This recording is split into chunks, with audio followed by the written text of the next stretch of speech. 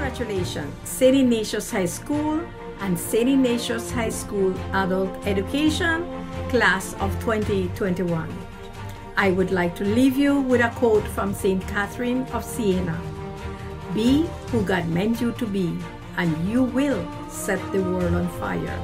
Once again, congratulations. Hello graduates, congratulations! You all made it. Despite it was a challenging year, you all adopted well and championed the different obstacles. Continue pursuing further education. Value the memorable moments as new ones await you. Once again, congratulations. Dear graduating class of 2021, my name is Bernie Matut. I am a 2014 graduate of St. Ignatius High School Evening Division. Thank you for allowing me a few words on this most memorable occasion. I am so thrilled and pleased to see all of you even after the hardship and challenges of 2020. We learned so much as we continue to make changes to adapt to our new normal. Such is the nature of life.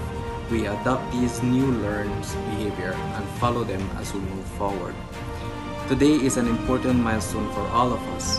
It marks the end of one journey and the start of many more to come.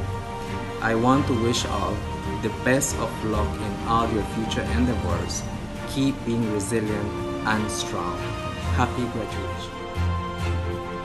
On behalf of the Board of Directors, the faculty and staff of the Kyle Center for Employment Training, I would like to congratulate you on your well-deserved success. Keep up the good work and continue to strive. Happy 2020-2021 graduation and I wish you the best in your future endeavors.